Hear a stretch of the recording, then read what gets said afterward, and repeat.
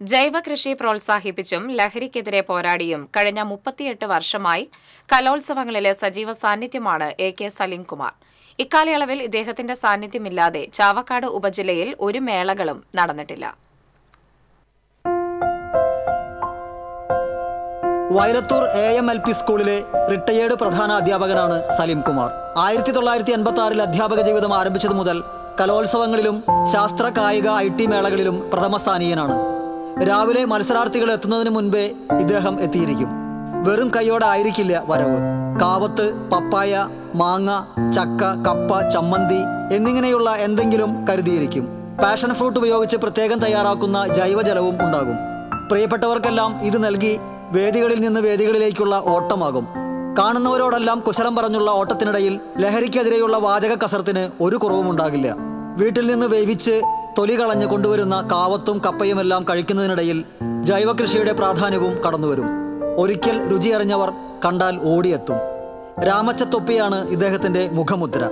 കൂടാതെ രാമച്ച വിസറിയും രാമച്ച ചെരുപ്പും ഉണ്ടാകും.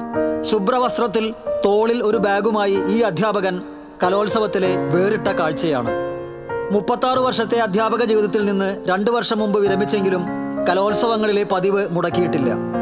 ജില്ലയിൽ നടന്ന നാല് സംസ്ഥാന കലോത്സവങ്ങളിലും പ്രധാന ചുമതലയോടെ മികച്ചതാക്കാൻ കഴിഞ്ഞതിൽ അഭിമാനമുണ്ടെന്ന് സലീം കുമാർ പറഞ്ഞു.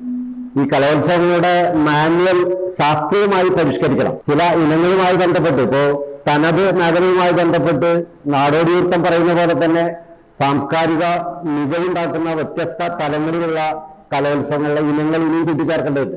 ഇപ്പൊ ഏറെക്കുറെ വ്യത്യസ്ത മേഖലയിലുള്ള ജാതി മത അടിസ്ഥാനത്തിൽ ഉൾപ്പെടെയുള്ള ചില കാര്യങ്ങളൊക്കെ വന്നിട്ടുണ്ടെങ്കിലും അതിനെല്ലാം തന്നെ സാംസ്കാരിക മൂല്യം നൽകുന്ന രീതിയിലാണ് കലോത്സവങ്ങൾ മുന്നോട്ട് പോകുന്നത്. കാലാകാലങ്ങളായി പരിഷ്കരിക്കുന്ന കൂട്ടത്തിൽ ഇതിന്റെ സോഴ്സ് ഓഫ് ഇൻകം കണ്ടെത്തുന്നതിന് ഉൾപ്പെടെ ചില കാര്യങ്ങൾ നമുക്ക് നടപടിക്രമങ്ങളിൽ മാറ്റം വരുത്തേണ്ടതുണ്ട് എന്നൊരു അഭിപ്രായമാണ് അതുമായി ബന്ധപ്പെട്ട് എനിക്ക് പറയാം ഇതുവരെ പങ്കെടുത്ത കലോത്സവങ്ങളിലും മേളകളിലും നെഞ്ചോട് ചേർത്ത് വെച്ച ബാഡ്ജുകളെല്ലാം അമൂല്യനിധിയായി സൂക്ഷിച്ചു വെച്ചിട്ടുണ്ട്. രണ്ടായിരത്തി ആറിൽ മികച്ച അധ്യാപകനുള്ള സംസ്ഥാന സർക്കാരിന്റെ അവാർഡും രണ്ട് തവണ വടക്കേക്കാട് പഞ്ചായത്തിന്റെ മികച്ച കർഷകനുള്ള അവാർഡും രണ്ടായിരത്തി പതിനെട്ടിൽ ചാവക്കാട് ബ്ലോക്ക് പഞ്ചായത്തിന്റെ ആത്മ അവാർഡും നേടിയിട്ടുണ്ട്.